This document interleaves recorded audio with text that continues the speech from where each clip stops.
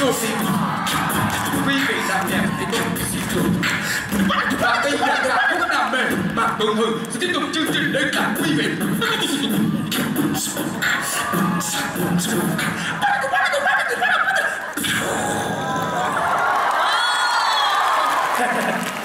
em ơi, trong thời gian đó anh tranh thủ giọng rap. Quý gì thật sự tương nhiên sẽ tiếp tục chương trình với bài hát đừng có tên đam mê. Quý vị có đồng ý không thì cũng hãy thật to.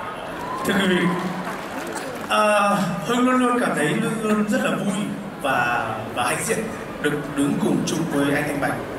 Anh Thanh Bạch là một trong những người MC nổi tiếng nhất đất nước Việt Nam, tài năng nhất đất nước Việt Nam và được học và được đào tạo bài bản và chuyên nghiệp nhất Việt Nam. Cảm ơn em. Các bạn có biết rằng anh Thanh Bạch đã có rất nhiều năm nghiên cứu tại Liên Xô cũ không ạ? Mọi người không biết, có biết hay không ạ? Anh Bạch thì thường xuyên đứng trên sân khấu với vai trò là nói đẹp, nói hay cho những người nghệ sĩ, những ca sĩ, những nghệ sĩ đứng trên sân khấu.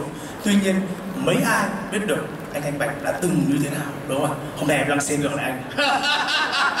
À, thưa quý vị, xin cảm ơn Tuấn Hưng rất là nhiều. Anh em chúng tôi khi có những chuyến lưu diễn tại nước ngoài thì đây là thời gian rất là dài đi trên máy bay hoặc là mình nghỉ những ngày hai ba tư năm để sáng bảy chủ nhật mình diễn thì đây là thời gian anh em chúng tôi có thời gian như là một đại gia đình để ngồi trao đổi với nhau bất kỳ chuyện gì và đặc biệt là Tuấn Hưng có khả năng kể chuyện vui hay lắm quý vị ơi.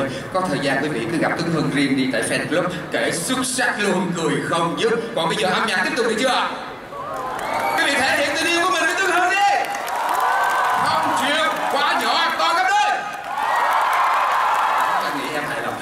Boleh.